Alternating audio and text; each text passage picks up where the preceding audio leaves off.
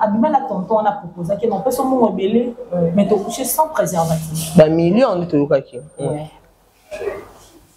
ntango tonton wana apropose azopesa mbongo ebele mm. aurelie vango mm. yo moko na motuna na makanisi na olongola na osantima longola na bafamille ya mpasi oyo toza nango bafamille oyo ya kodebrie toza nango mm. obandi ya koraisonne nini ntango mobali ane biso eke non na nakosa tobima na yo mais naopesa yo otango kokuche na osa préservatif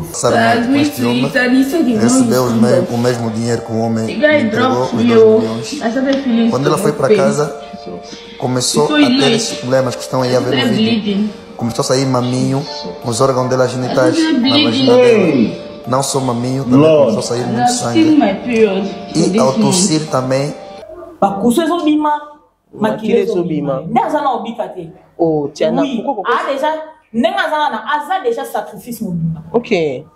azwaki kisi enfin ke mibali ya mbongo balingaka ye balandaka ye bapesaki bambongo komsa ye ayaka kolata kosala bato tapage awa na bareseau sociaux alors ndeko na ngai ozolanda keba na mokili oyo bamingi bokomonaka na bakolakisaka bino basaki ya danger vraiment posa nzoto bafi tokomi nango eza ya kosangana te donc esprit osanti mpenza oyo eza mpenza baesprit mabe posa nzoto eza normal te hmm. vraiment okokouche na mobali no okeli bolala na mobali no mbetu moko bosali nyonso to esengai okosala mhm. abimi na ntongo ake mosala oswasi adeplace yo obimi otesamaka moyo kaka posa nzoto so oza na baesprit mabe hmm. ekoma otinda oti oke koluka ata mutu moko boye bike banda kolala yo bia banda kosiba yo bien oke koluka mobali moko oa oh, banda kosiba yo bien temaki hmm. mobali mo aza na tante nini koluke hmm. kaka mpo asiba yo kaka mposa nzoto esila nzoto esila ekosila mpe tokoma oluka esu mosusu yango moni bafi tokomisi yango eh? to to évoluer se eloko yango mhm. to moderniser yango eloko moko na papier aya sopi su wana mhm. ye mwana yango andi su koloba siko kotala ye na makambo osala soki ayaki kokanga mobali soki ayaki akoma fille de chance mhm. soki ayaki asala nini soki eza mbala liboso asala yango soki ezaki asalaka yango deja soki ndenge nini oreli natali ye nanu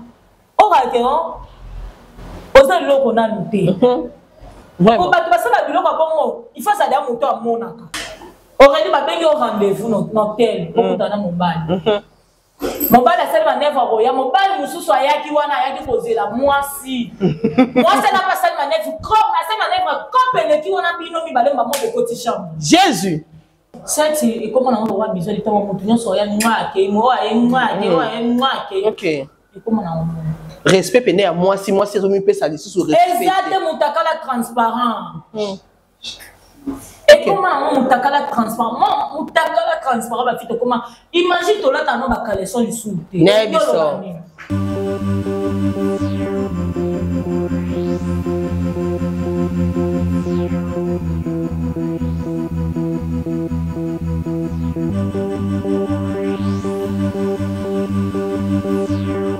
ne pas de vous retrouver encore une fois de plus sur notre chaîne en direct Amelia Luzolo TV. Abonnez-vous vraiment massivement, abonnez-vous en cascade, abonnez-vous en pagaille, parce que awa notre chaîne oyo eza chaîne moko éducative tolekisaka baémission oyo esalaka esungaka bavie ya bato na baconseil na baproblème oyo tolekisaka awa bato na mosika to na pembeni basungamaka vraiment na émission na biso ya lelo je dis un grand merci à tous cela qui me soutiennent de près ou de loin wana namoni mama beti mbemba na kati ya canada je te salue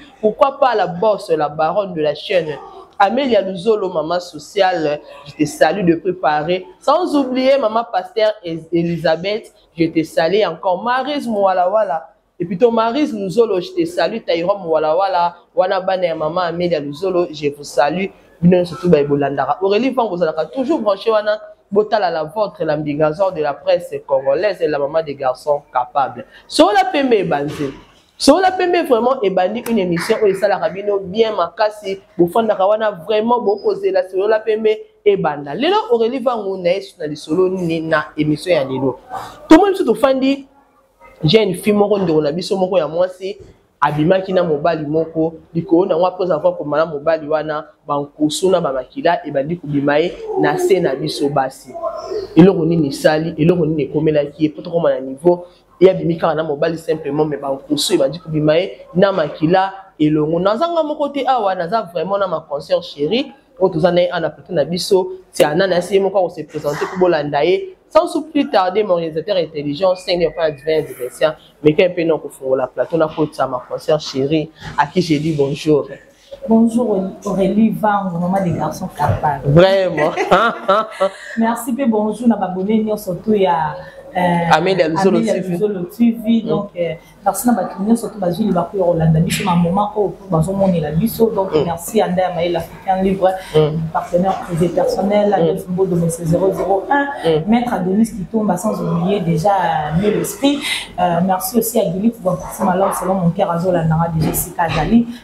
merci na bato nyonso to bazolinga te bakoya kolanda biso merci aussi à junior euh, junior ndosi merci aussi à dv dv sobi donc voilà merci beaucoup Merci beaucoup, Tiana de mon cœur, ma copine chérie Nadinga Kemakasi. J'en profite pour souhaiter joyeux anniversaire à Nadia Jebe, la femme selon Jésus. Balobi mi l'esprit likona ango. Balobi le fête panza soki mpe opanzi ntango okosilisa yo moko oyebaki biloko opanzi fo futa en tout cas merci tiana d'avoir répondu à mon invitation lelo tozolobela likambo ya sujet oyo oyoki na annonce na annonce na biso awa ndeko na biso ya mwasi oyo tomoni bafoto bavideo eza wana baotyela biso abimaki kaka na mobali nde ezala kaka jeune garçon alingi yo bobimi naye ensemble mais après avoir kobima na mobali wana makila na bankusu ebandi kobima ye na se na biso basi bino toanalyse na eloko yango effet yango tokoanalyse yango neti ndenge nini tiana de mon cœur ntango oyoki déjà baabone na biso boeskize nga ntango oyoki déjà moto mm. euh, abimisi déjà babiloko moko ya bongo na nzoto mm. tokoki oloba on sait jamais mm-hmm. nanu mpe nayoka te mm.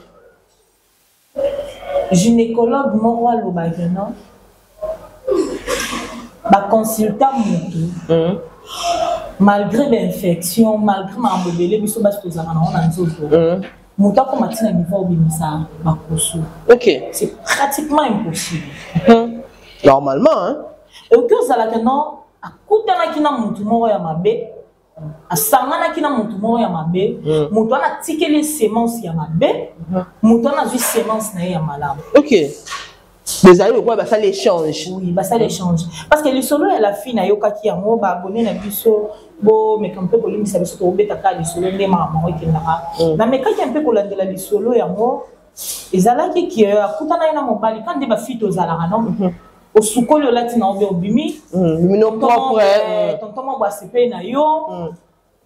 opoze oke no nasepeli na yo na naposa te obima na yo naopesa yo otemps okay. mais kobima yango na moto oyo oyebi te faut kose préserveosinya koyebi biso bafi tosinya na mitia na kati mponga mpe na mwasi ok très bien longola te très bien na mwasi mm.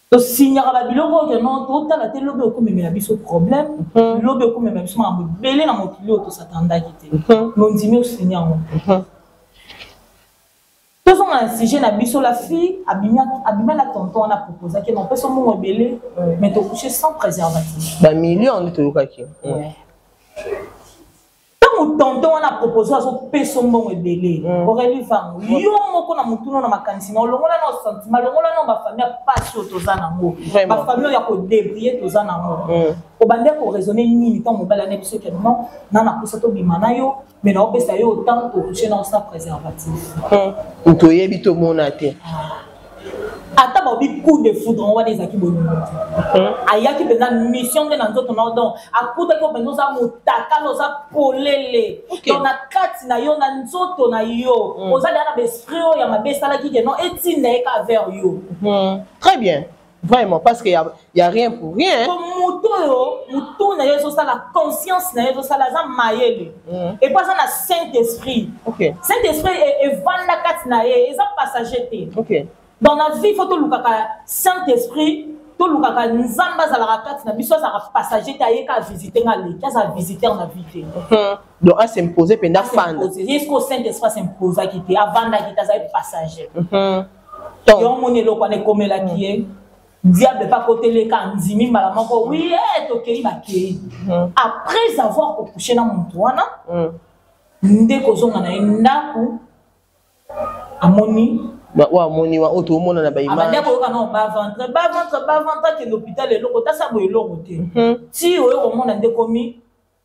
bakusu ezobima makila ezobima nde aza na obika te oh, ah, deja ndenge aza wana aza deja sacrifice mobimba okay po toyebi te na kati mpona eloko nini epoli mpo bankusu ezalaka deja synonyme olakisaka eloko mo eza bien te na kati voilà soki obika nzambe asala grâce nzambe donc na mawa nzambe nzambe asala ngolu mwa mwasi wana bika na kibomoto boye mpenza obika te mhm. po yo bapesi yo bamillion bamillion wana ta oke nango na bahopitali batraite yo maladi wana bakusa wana nde baobima wana ekosila te obika te mhm. mais eloko mosusu mpe esala bafille wana tiana eza envie hein? bafille ya lelo bakomi tokomi totyaka tomitya biso biso toza basi so naye biso tokomi na niveau ya lokosa mbongo ya kosakana te nayebisi yo envie ezoleka basikoyo aye azweli donc ayebi nga mpenza ko mpo nazwa bino bafille bien mm. fo nayela bino kaka na ndenge makambo ya nzoto ndenge ya sexe okay po bafimi bakomisi sexe na bango marchandise kosa nzoto oyo ya kosakana te nango ye biso bafi tokomi nango hmm. vraiment posa nzoto bafi tokomi nango eza ya kosakana te donc esprit osanti mpenza oyo eza mpenza baesprit mabe posa nzoto eza normal yo hmm. vraiment okokouche na mobali no okeli bolala na mobali no mbetu moko bosali nyonso to esenga yo kosala mhm. abimi na ntongo ake mosala oso asa deplace yo obimi otesama moyokaka mposa nzoto so oza na baesprit mabe mhm.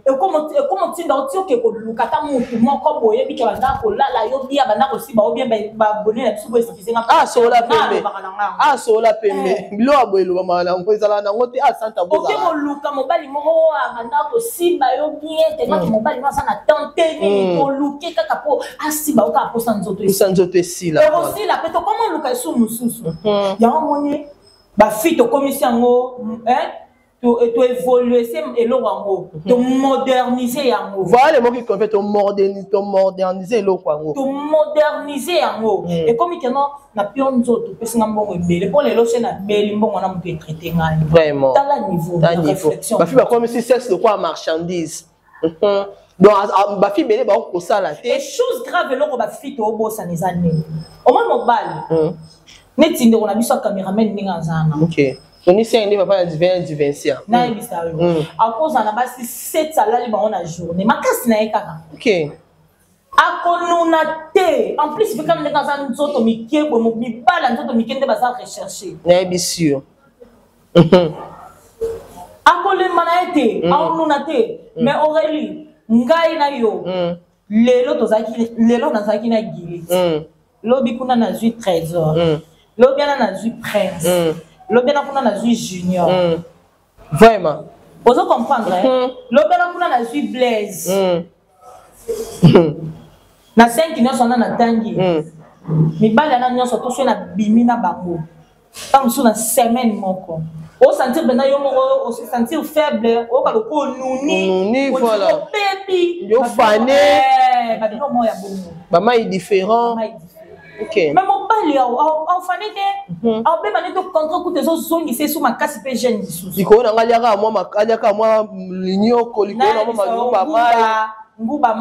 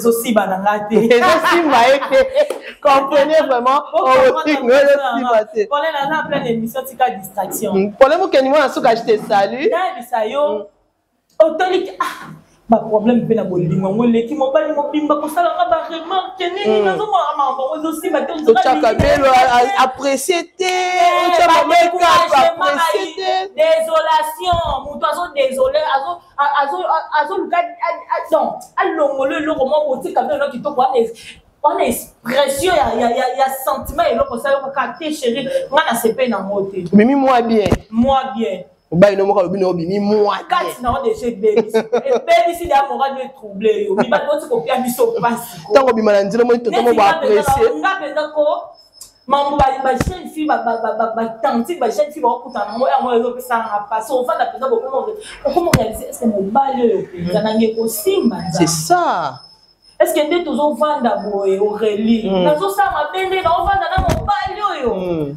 naotya nyonso natya manzaka natya makeup natya kabemobali azaka na mposa nake nabakisa na double ye eh, nasali double ah, ah, ah. vraiment tiana euh, yango ozomona bamambo ebe ezokomela mpe bajeune fille tozonga nao na sujet na biso parce que jeune fille oyo oh, mambo ekomeli en tout cas toseka mais ça fait très mal likolo nango aza mwasi lokola biso jeune fille eloko eko obikisa eh, ndeko na biso wana mwasi beaucoup plus eza ka ba prière mhm.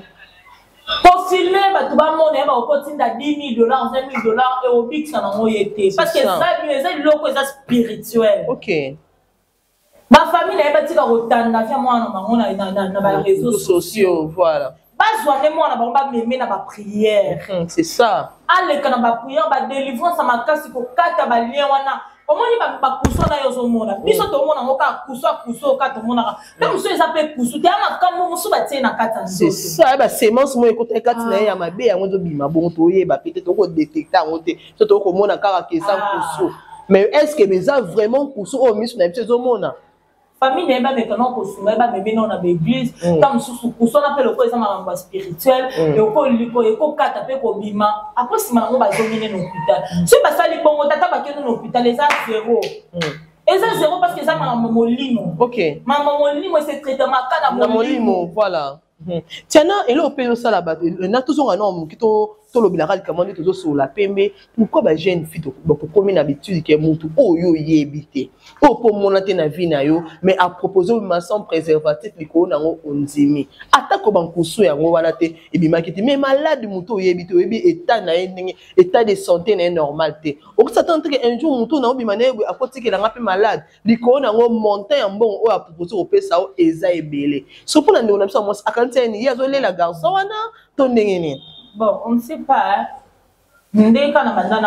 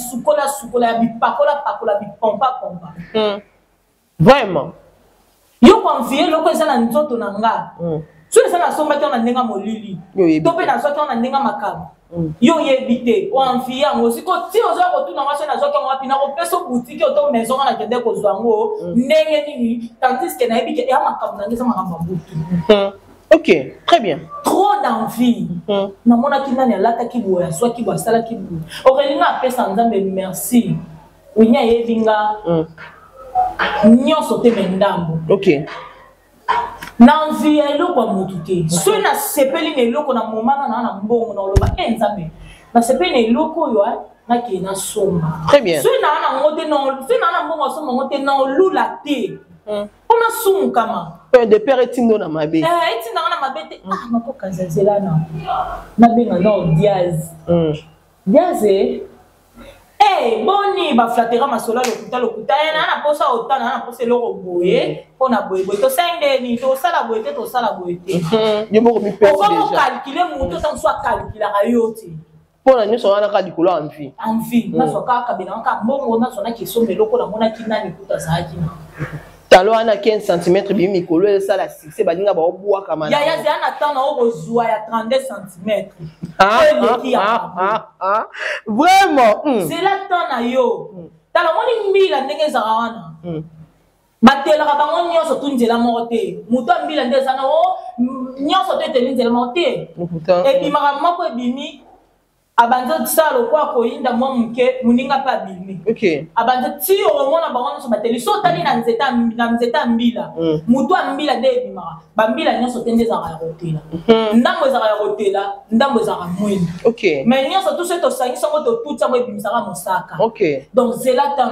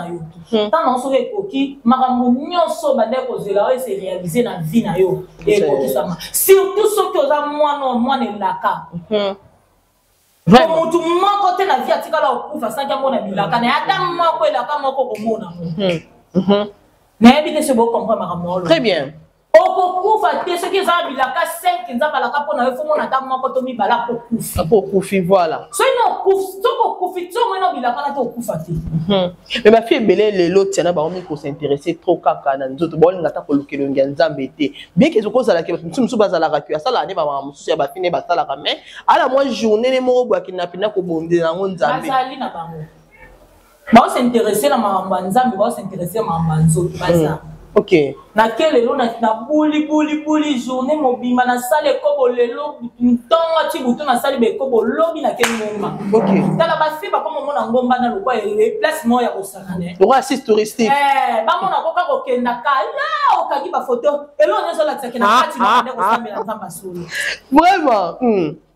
bato bamoni okaka mai ya miso ezotanga ebele maboko ka likolo boye mabolongo na se yo wana nako bikitambala ti a koleka kaka to basaka filme ya yesu nayebisi yo na kati ya motema eske toyebisi oyo ozobondela nzambe solo mhm. kongo wapi oba babebele kuna na ngomba wana azokenda si omoni ngomba na bato bakoma osaka nango lelo mpo mm. bonzambe mpenza na ndenge ya solo eza lisusu te mpo soki bonzambe na ndenge ya solo ezalaki na kala obandaki koyoka bato bangomba bangomba mm-hmm. c'est ça na ntango ya kala yo bande koyoka bato bangomba bangomba mm-hmm. bafi tokoma oprofite kaka na bagroupe de prière kaka oki kaka frère kingani e eh, kuna profese eza makasi mm-hmm. so deja bayebisaki babi yo ndenge oza wana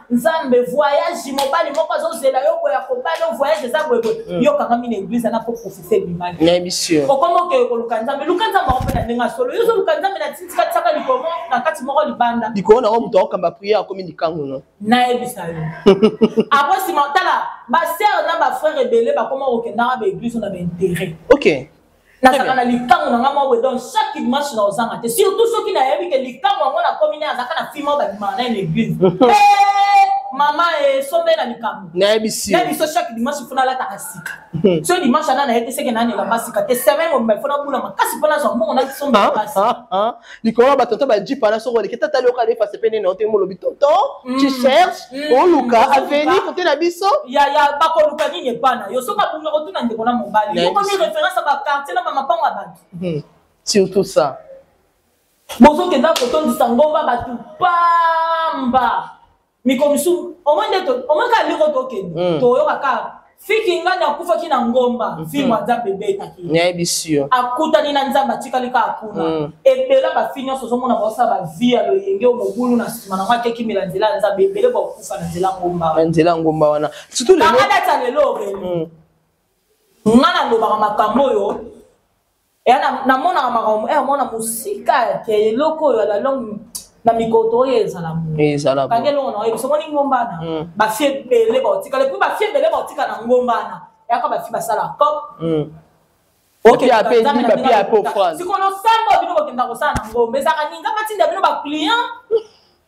to nzambe asala bino nini na bavi na bino vraiment en tout cas mpo nayebi mpenza mpe makambo okenda kosambela kuna mhm.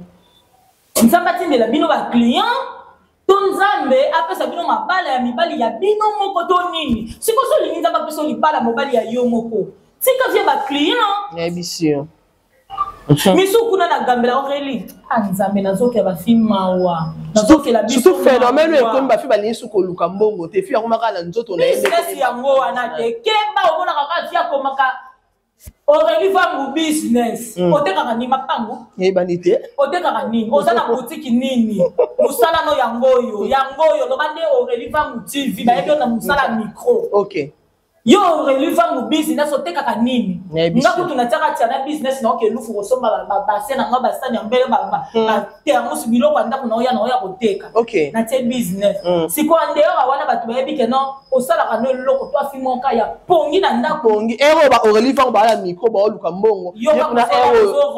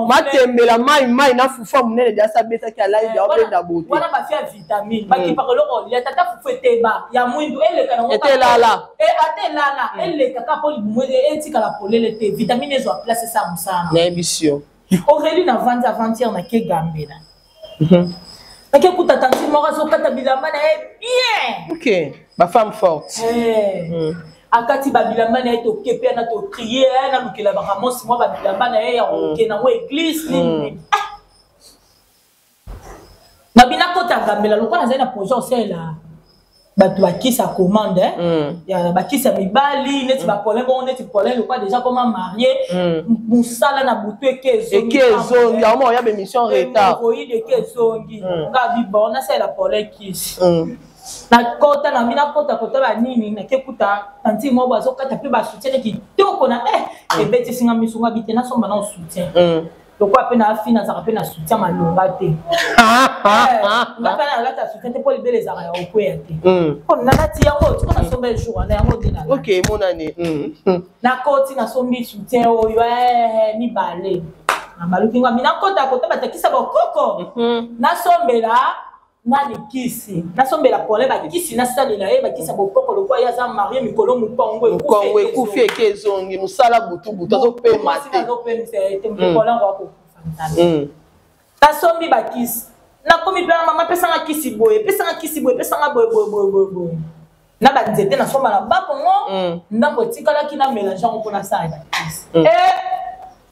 nakenda nakuta ndeko na ngai ya mwasi hmm. propre te hmm. ndeko ya mwasi nasansi ke yaka mwasi yo mpota mwasi kaka boye nake nakuti ntango mosusu nadia gb eh. anniversaire hmm. nakuti nadia gb avandi nga mpe nazo comprendre te namoni kaka balituka moko ya moke hmm. batie makala na kati hmm. batie biloko moko na papier balingi oh, oh, oh. batie na lituka hmm. ezopela moto milinga ezomata nayebisa yo mwa mwasi ana depo avandaki kaka aoloba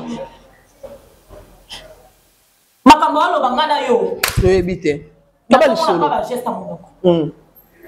navandi na observe na eloko nayaki nasomba natiki bazotekela ngo natala nde baotekela nga ngai nakomi koobserve ye hmm. mama ngo omona azwi eloko mwa boye na papier aye asopi su wana hmm. ye mwana yango andisi koloba siko kotala ye na makambo osala soki ayaki kokanga mobali soki ayaki akoma fille de chance mm. soki ayaki asala nini soki eza mbala liboso asala yango soki ezaki asalaka yango deja soki ndenge nini oreli mm -hmm. natali ye nanu okake oza eloko nanu te mhm. po bato basala biloko bongo ifa azali ya moto amonaka c'est ça aspect physique na omona deja amonaka te ta mosu ayo oluka banda nde makambo yaya landa nzela nzambe bima kutu kuna eza na priere moko na bima basalaka te non ozosala priere baoyebi biso tanga komba mobali oyo mobali na yo mhm.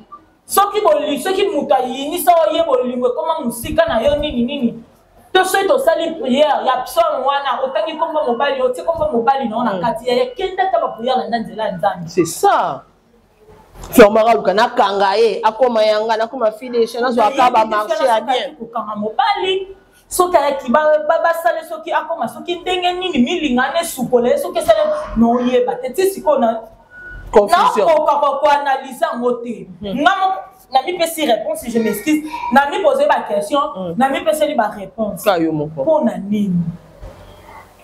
bafi bani komona mama asala likambo te natala ye jour moko boye nayokai lisolo na kati ya bisi bafi mama babeta e eh, kote mama wana mpena mikolo ye mpenda azosala makambo azopesa makambo mama mo bakota bakimba nseke wana kaka na lisolo na kati ya transport kaka nde ezala tiana na mituni na obi en tout cas mpo ani bafi lelo balingi kosala te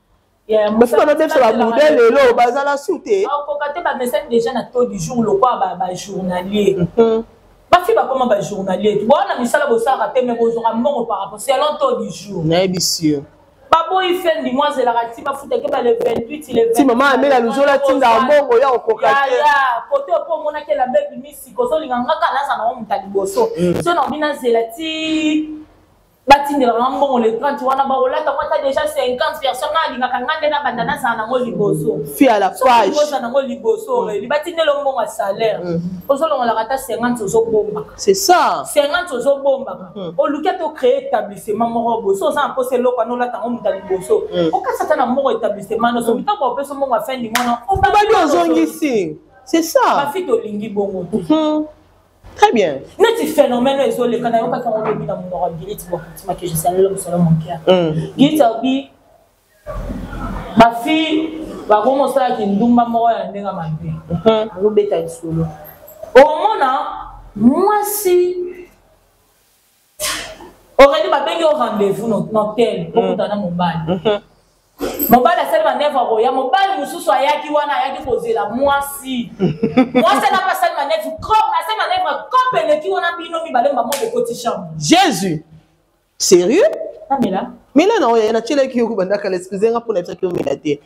kisa na motema en tout cas phénomène ekomolekana en tout cas na vie province ya kinshasa toloba toseka mais esala mpasi comment expliquer mwasi oyaki ozwa mobali nini hotel mwasi mosusu mobali mosusu oyo ozwa mobali nini hotel tonisei nde makambo ezali abakisa mai parce que ah. tena fo aloba bosali cop na ndeni anatanda mobali noya anatanda mwasi noya bomisaleleli déjà cop papa bakisa aurelie nayebisa yo ngai na yo ozela mobali na ngai na hotel mm. apesi nga rendez-vous mm. o oh, chéri zela nga na kape wana nazoya tokutaka nga nao na kape na kape na makanza 24 na katikati na hotel kape eza wana tokutaka nga na yo ça va bebe na obongama mm. Hmm. Aurélie, hmm. Natia na na yeli bosa mobali na fandi na ose na mobali azo bongama hmm. azo ya. OK. Mobali musuka pe kati mwasi na yaka tokuta na kape kuna ba mbeto bien ezalaka kuna dans moyen ezaki. OK. Tokosala kitoko tokosala malamu. Nayebisi yo.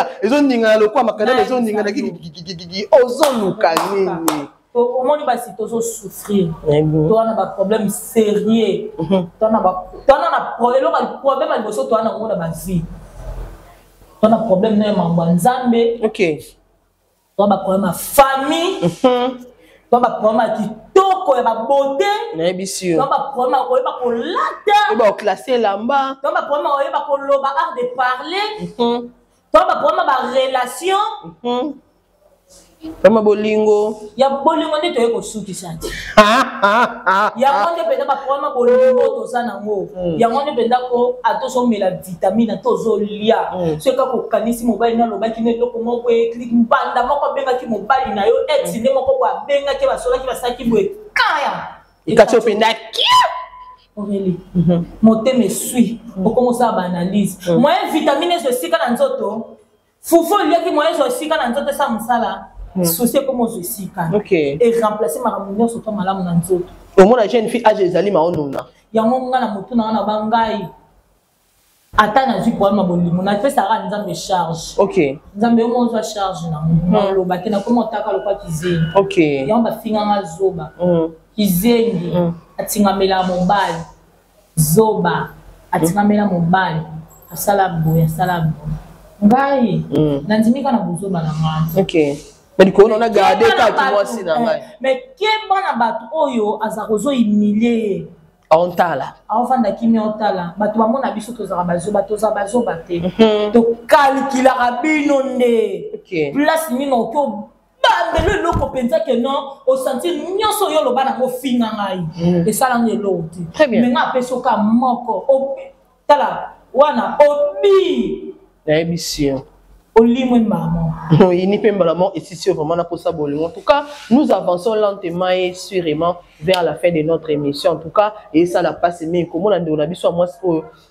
eyebi na ata tiana alobi aobika te aokufa wi nakoki kozala nakoki koapuye moke langage ya tiana wana parce que toyebi te na kati kuna eloko nini ebebi ata bagénicologue bake batali yo est ce que bakodetecte réellement eloko oyo eza na kati kuna oyo ebebi ekomi mambo ya spiritualité bagene fille boni komona moninga aroule te omoni kaka moninga aroule carrosse eh, ye kuna alakisa niase na ngai na osomba oyo ekobima lobi iphone oyo ebimaki ya ba 6 ba 5 ba 3 ba 4 ba nini bino te 14 otoma dernièrement nga mpe fo nasimba yango aurélie nga mpe fo nga mpe fo bakati otia moninga na aveli na biso mm. ntango tokola ntango deya bafili ya bakomi mpe koyibika okay. 2013 2014 bon nazalaka rite normal mm. Fille moko boye avanda avanda na bekeri te azalazala na bato te akamama te mm. azalaka na ndako nasimbaka masanga te mm. so moto atindi nga osomelaka cigarette nasimbaka te aka na ndako mwana ndako nini trop ale libanda moke mhm. mais baninga na nga ba age na nga deja babanda daa kokendaka daa ba why not mhm. ville babwata minene baokota baosala vie baosala ba vie baedite biduka bamarite bamarite muka trois fois makambo donc basiyu ba, ba, siyu mpe azalaka ne mwana ndako mais propre classe pose fi mpenza oyo abwakama mhm. me ngai nazalaka bande moyebi fi mo bayebi mambo mpenza mpenza te mm. azala ne kaka trop pale nini mm. afungwama te ane kaka bongo okay.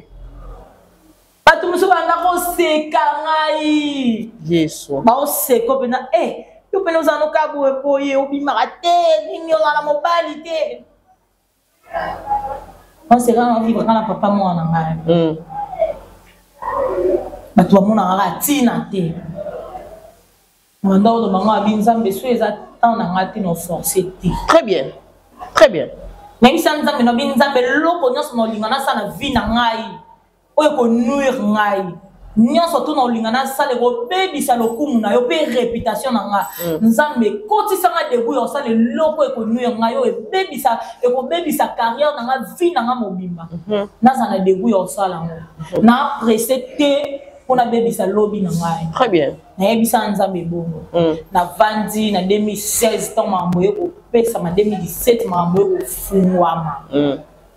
naye okoma tiana naobi teke bato na ntango bakombo nde baseka ngai mhm. bato mosusu andeyoo na bangobato ya baaveni mpe kaka bamama mosusu na aveni bayaya mosusu na aveni mhm. te na bisi yo lelo baseka motu te so akufi te très bien eza kaka mwana mobali te eza mpe mwana mwasi eza mwana mwasi baseka donc nga na vi na ngai baseka motu te so ena akufi te parce que lobi ya nzambe lobi ya motu ayebi yango ozalaka nzambe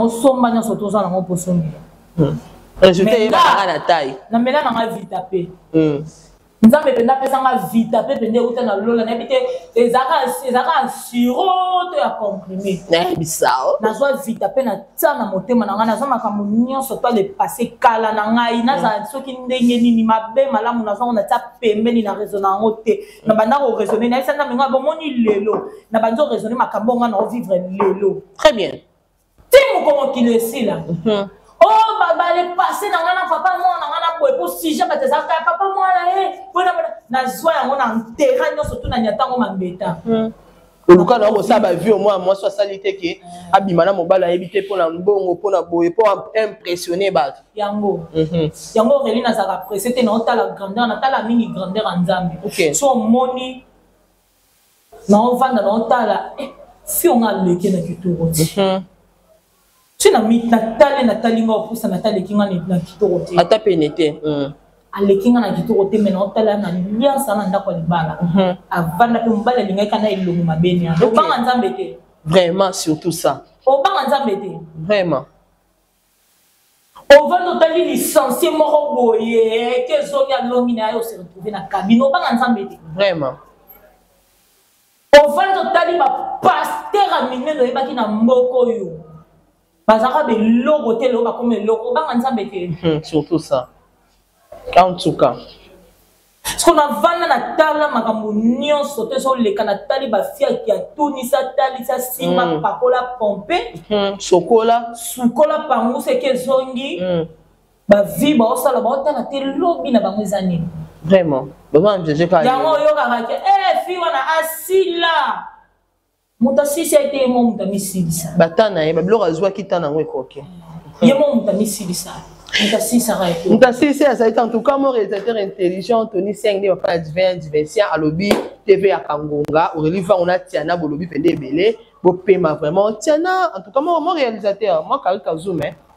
Tiana apesa mot de la fin na mot de séparation na ye na mwa ba dédicace mpo to clôturer na biso émission na biso ya lelo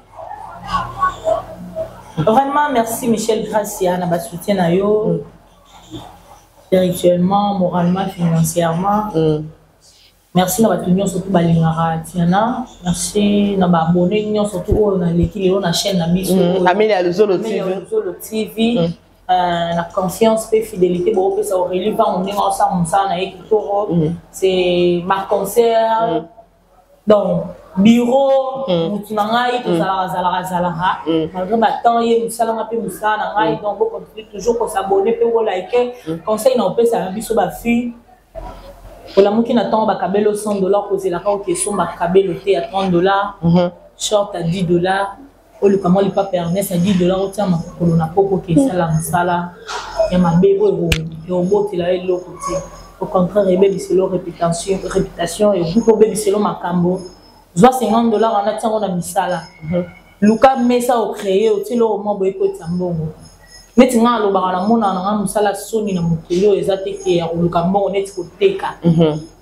koteka biloko créer établissement na yo moko bo ozoteka biloko na yo ozosala ba voyage ozosomba biloko ozoya koteka efutaka mieux ke oyo tolinga tosalaka wana donc conseil na kopesa na biso bandeko na ngai ya basi yango wana batanto wana batika kodokisa biso mitu mhm.